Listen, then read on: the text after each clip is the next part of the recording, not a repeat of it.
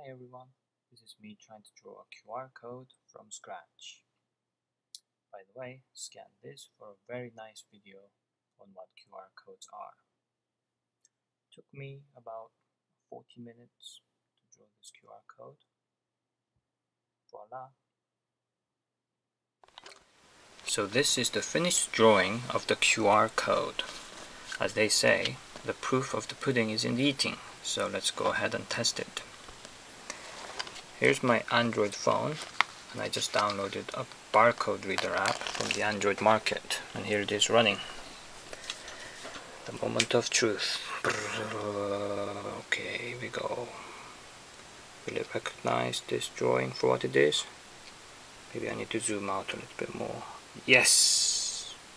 Bingo!